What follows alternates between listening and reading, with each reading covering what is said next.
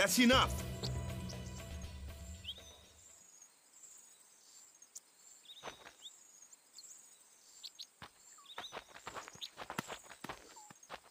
Uh, what's with that guy? Kimahri Ronso, of the Ronso tribe. He's learned the Fiend's way of fighting. That's not what I meant. He's another Yuna's guardians. Huh? Sometimes we don't understand him either. Kimahri doesn't talk much anyway. Hmm. But he has protected me since I was a child. Huh.